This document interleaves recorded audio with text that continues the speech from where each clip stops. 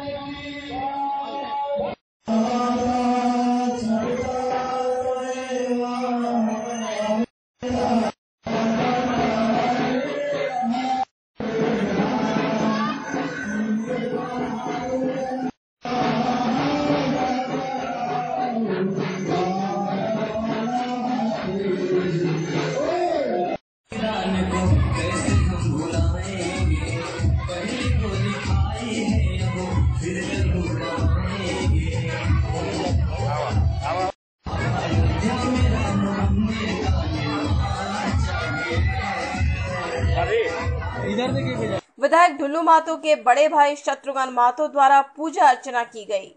विधायक ने मंदिर निर्माण सहित बागमरा विधानसभा की खुशहाली मांगी।